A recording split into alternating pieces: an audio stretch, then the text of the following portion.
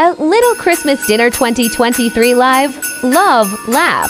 We can only leave our legacy and hope our children continue the love.